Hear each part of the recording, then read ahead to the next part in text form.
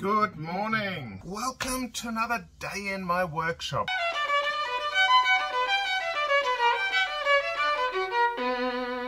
I'm just getting ready for a holiday. I have a lot of work to do, a lot of things to finish. So you're not going to see a lot of start to finish repairs, but you're going to see me finishing a lot of work. So uh, I'm, I'm just making sure I get everything ready for clients to pick up before I go away. So I'm um, at the moment, I've almost finished two bridges. One is for this violin. It's an old German violin that belonged to a family. And this one here is another violin that's getting played by a, I think she plays quite a lot of folk music. I because I'm going away, I didn't actually have time to clean and polish this violin, so I'm going to do that when I get back, because she had some problems with the bridge and the sound. So in the meantime, I'm going to put on a new bridge.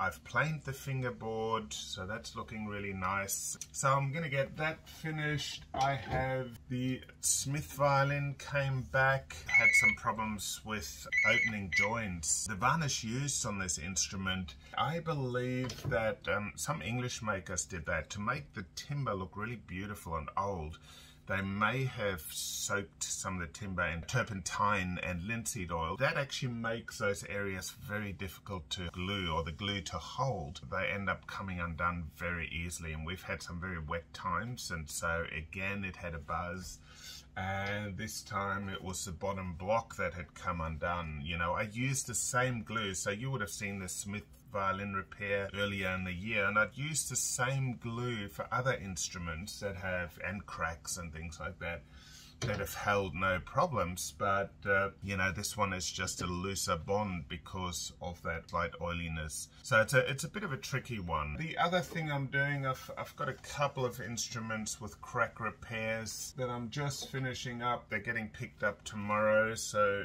this one here had a massive crack here right through there. So the case the instrument was in accidentally got jammed underneath something and so it caused a couple of cracks but uh, he will hardly be able to see them uh, so one of the cracks is just here and I'm just in the finishing touches uh, of finishing that one. I've got a full service I have to do for an instrument that so that's planing the fingerboard, cleaning and polishing, servicing pegs and, and sound posts and things like that. I had a five string violinist and cellist from Canada who came over and her fingerboard had fallen off off the cello so she's coming to pick it up this morning. Great thing is that her uh, bandmate actually watches my videos. And so when the fingerboard came off and they landed in Brisbane, she said, oh no, my fingerboard came off. And he said, I know just the guy to go to. The band's called In Echo from Canada and they're playing all around Australia. They're a folk band, probably sort of Irish leaning folk band. So very exciting, but a bit stressful when you get to a foreign country and your fingerboard has come off. So first of all, I'm going to take those um, clamps off that cello and I have to get it finished because the client is literally coming in an hour. All right, I'm gonna take the cello back into it, to my workbench to wash all the glue off. I'm gonna finish tightening the strings already. So the problem they have in Canada is that it's really, really dry.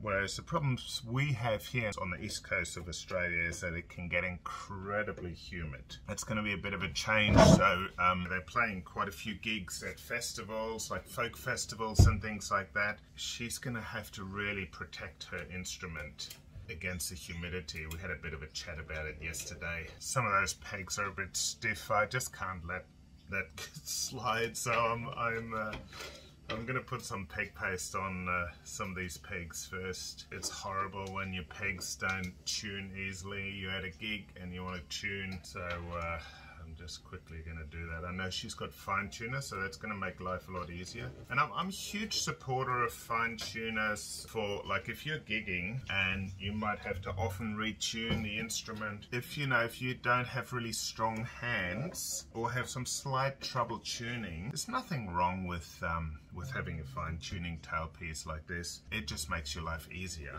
And, uh, you know, I know it's a matter of pride for some musicians to to be able to tune with the pegs, but what if the pegs don't work properly and you, you, you know, and that's that's a problem that not you know the pegs have to be perfectly round uh, so they have to fit really well and you've got to um, have the peg paste on. Watch my video on pegs anyway, and then uh, and then you've got to have the strings wound on right. So uh, if you've got all that, your pegs should turn very easily, and it wouldn't be much of a problem. But you know, a lot of people don't actually have the pegs fitted exactly right. Okay, that's all done. Okay, so I'm just gonna wipe the rest of the glue off. Then I'm gonna let that dry. And then just at the end, I'm gonna give it just a very, very, very fine sand, just to make sure that there's absolutely no step between the neck and the fingerboard because that can be really off-putting when you're playing. But usually, I mean, I, I, I glue it you know, I'm very spot on with my gluing so that, that it matches this. There shouldn't be a step at all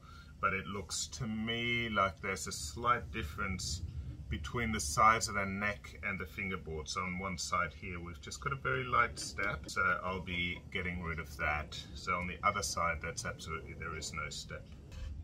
Just using the finest grade of sandpaper now, just to make sure this is super smooth, nice and easy to work with for the player. And uh, I'm just going to test the cello a little bit and then it'll be ready, you know, just make sure that nothing else got damaged during the flight. And, uh, you know, then she can go on their tour of the east coast of Australia. Okay, so that's going to be picked up soon.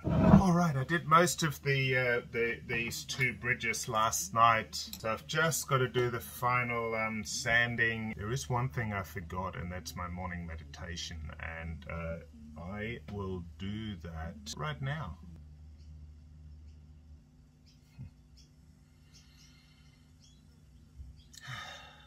I'm grateful for every day I get to have on this wonderful planet that I get to spend meeting amazing people and making their lives and my lives richer.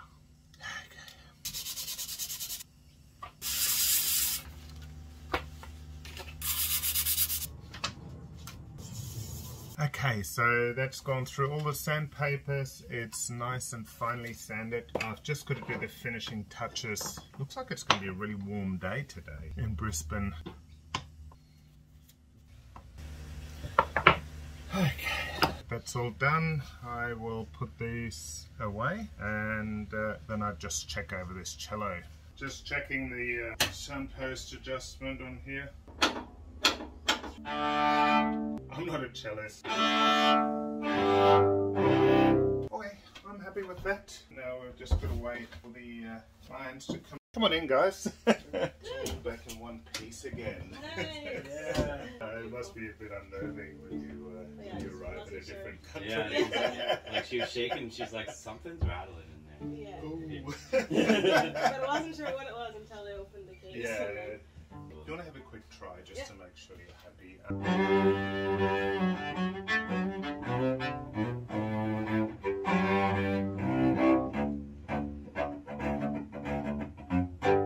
the same. Yeah, fantastic. It might have a slightly more clear sound because uh, I looked at the sound post and was so far away from where it should be. and uh, I just it just moved it slightly, yeah. so I, I yeah. I mean, I don't know what difference that makes with a pickup. It probably doesn't make as much of a difference. But... Yeah, I use a clip-on mic now, so Oh, I don't use the pickup just because oh. been, I've been having issues with it. Yeah, you mentioned that. Yeah. Nice. Yeah. Cool. Like, To that. The cello's the main. You fit in a bit better. There we go. We got a crowd now. What do you? yeah, you got it. Ready? Ready? yeah. Thank you. Yeah, see you later. Take care. Thanks Bye, again. you too.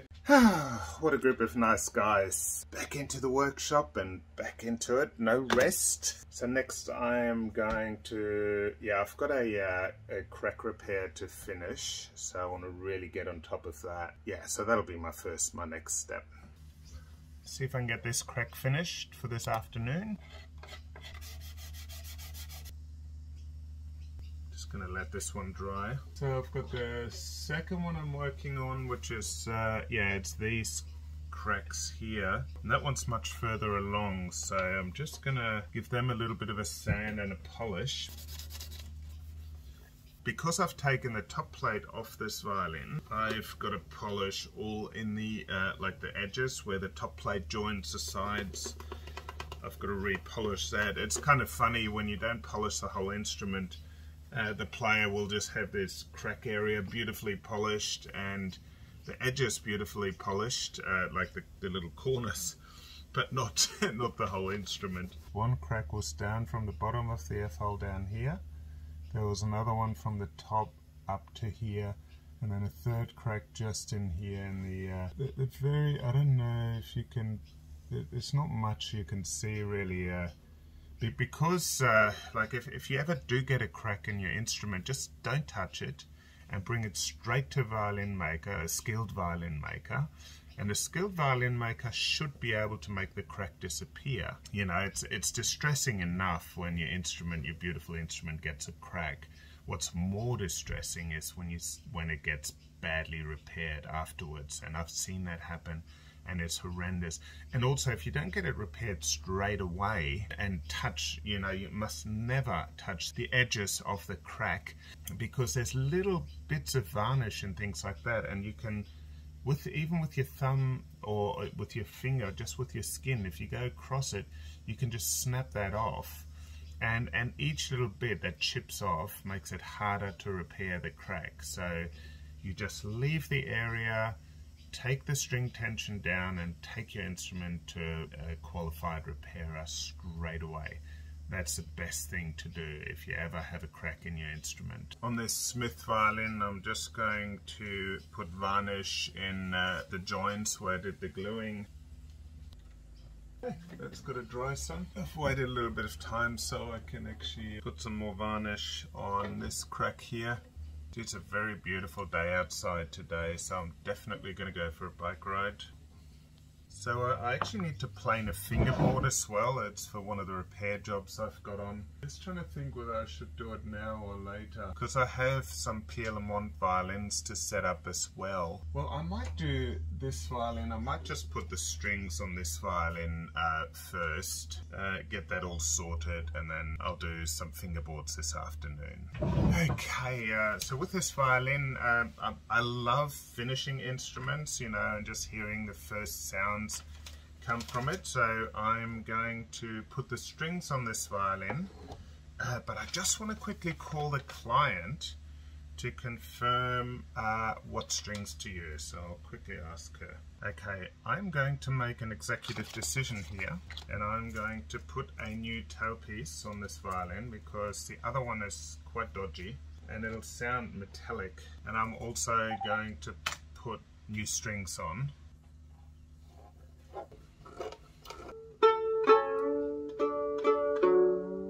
Okay, so I'm going to go on lunch now. I'm just going to let that hang up. Uh, I will do one more little coat of varnish on that crack repair just to make sure that's all dried when I come back from lunch. Gee, it's warm today. It's a really warm day. We're off to our favourite Vietnamese today. Gotta love a good uh, Vietnamese salad. Alright, we got my Vietnamese salad and my favorite cafe. We did get coffee, but I kind of forgot to film it because I got chatting to some people. These things happen. Gotta love spring, everything's flowering. Oh, I'm back from lunch. Went for a bit of a longer bike ride. I had to buy some things too, so got a bit sidetracked. Spent a bit of time in the city looking at things anyway, uh, I'll get back into it. I've got to finish this baby here. Yeah, I'm just going to do a little bit of sanding. So I'm just going to put another two coats of varnish on there and then let it dry. Then I'll just polish it and then it should be good to go. So put just a little bit more varnish. It's been a little while. I'll let that dry. At the same time, I'll put a tiny bit more varnish on the joints of the Smith violin that's protected everything that needs to be protected here so that's good I'm actually really happy with this this is the one with the cracks so for that one I'm just going to be putting on the strings so that'll be all ready to go it's getting picked up um, tomorrow as well, I think. So I think he'll be super happy. It's almost impossible to see where the cracks are. So this is the violin that's come in for maintenance. It's come in from North Queensland. It's uh, the player uses it for folk music. So I'm planing the fingerboard for her. I'm giving the whole instrument a clean and polish.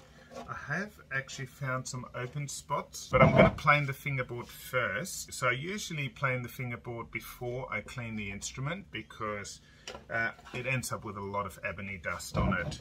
I prefer cleaning the instrument after I've made all the dust. Uh, and I'll do the gluing in between. So I can do that before I plane the fingerboard or after I plane the fingerboard. Now if the gluing needed to be done up here, I'd probably do it after the planing the fingerboard just to make sure we don't get any ebony dust into the grooves. But uh, the instrument's open near the bottom, so I'll glue that straight after I've planed the fingerboard.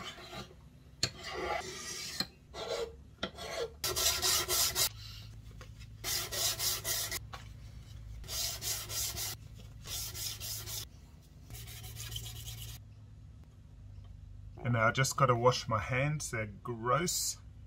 And, uh, and then I will glue these joints at the same time that can all dry together while the nut, the glue of the nut dries as well.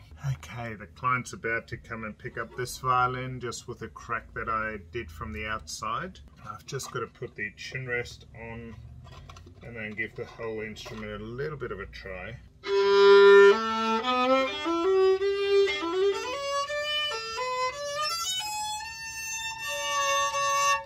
So it's got like this really dull sound. Um, some of my three quarter size violins sound a lot better, but at least the crack is fixed and they can get back into their playing. Okay, I'm just going to quickly glue the joints on that other violin that I was working on before, the one where I uh, planed the fingerboard. Then I'm just going to knock around the instrument and see if I can find any more open joints. No more buzzing. Well, I'm going to pop this away. I'm literally going to leave it till tomorrow. It's going to dry overnight. And then tomorrow I'm going to give it a clean and, uh, and finish it up. Okay, uh, it's moving towards evening. Had a few family things on today. Just getting back in. I'm actually going to work into the evening again. I know I'm showing you a lot of videos where I do work into the evening. Believe me, I don't do it all the time. So with the uh, with the Smith violin, I just want to polish these little areas quickly and then I will put the chin rest on. Then the crack repair, I'll be putting the strings on that this evening because that's getting picked up tomorrow also that other violin's getting picked up. So I've, got a few little jobs to finish. It's starting to look very nice. Guess what? There's still buzz. Okay, I am not going to worry about this tonight. That's in the too hard basket. It turns out that the bass bar is coming loose. So I'm going to have to glue on the bass bar. I'll do that right now. We're going to have to contact the client. He'll have to come another day. So I'm just putting some glue uh, underneath the bass bar now. It's one of the first times that I've actually had this kind of repair that a bass bar has come out of an instrument. It's kind of unheard of. Um, it should normally just be glued on so firmly that it never, ever, ever comes undone. So buzz can be literally one of over 130 things. Uh, when I was working in Germany, the guys there worked out there was at least at least 130 possibilities why an instrument could be buzzing and the bass bar coming apart is one of them. Doesn't happen often at all. It's exceptionally frustrating. Anyway, that's glued on now. I'm going to let it dry overnight and then tomorrow I'll glue the top plate back on and hopefully everything will stay together then. Here's the violin where I've repaired the cracks. I'm just going to pop the bridge and strings on. There we go.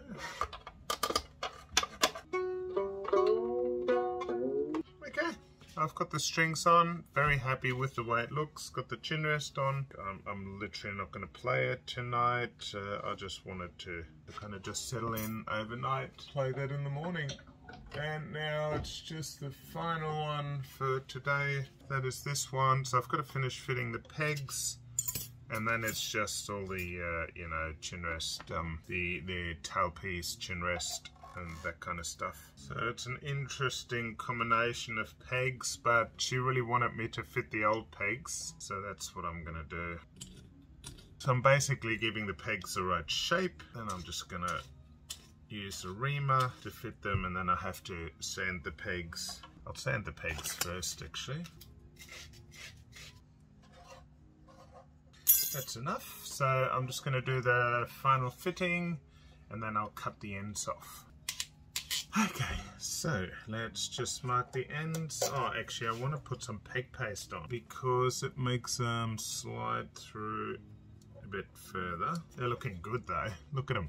All right, now I'm just going to mark these off and then I'm going to nip across to the saw and uh, saw them shorter. So now I'm just going to neaten up the ends. I'm just lowering the nut on this uh, violin, it was a bit high.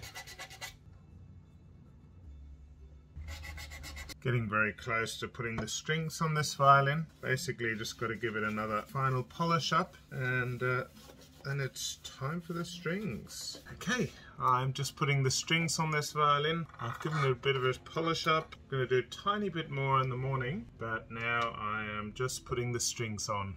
I made the bridge before you saw me make it. Um, you guys must think that I work into the night all the time. I don't. I, I do maybe two evenings a week, but to me it's really important to have some time during the day. So quite often I'll have about two hours or, or even longer during the day where I, uh, you know, just spend some time uh, uh, connecting with friends and things like that. And, uh, you know, just gotta, gotta find your own rhythm, I think. So I don't mind working into the evening at the moment. Uh, also, like I said, we're going overseas, so I'm getting a bunch of things finished. I'm literally trying to empty my workshop of most repairs so when I come back, I can start with a really clean slate. I think I've got three more repairs left, like big repairs that I won't be able to get uh, to finish. Uh, one I'm gonna make a video about. Um, it's it's quite a mess that one. It's a cello that uh, that was basically floating in the floods, so it's fully come apart. So I'll be reassembling that. What did they do to the soundpost? I've never had to do this, but I might have to saw through this soundpost. This is new. Yeah, it's like totally in the wrong place, so... That had a lot of tension. That could have done some damage if I uh, didn't know that. Um, Alright, I'm just going to test this other sound post I have here. So this is one I fitted recently, but I fitted it too short, so I can just fit that one to, to this violin. That was definitely something new. I don't think I've ever had to cut a soundpost in half because it was jammed in there so tightly. It probably left a mark though, the, the original one. I am happy with that. I am literally, I'm quite tired. So I'm going to finish up for today. I'll let those strings settle in. Uh, it's been wonderful having you join me. I've had a good day, uh, met some wonderful people like I said, I'm just getting ready for travel overseas, so uh, just clearing out a lot of my repairs. But it's always wonderful inviting you into my workshop.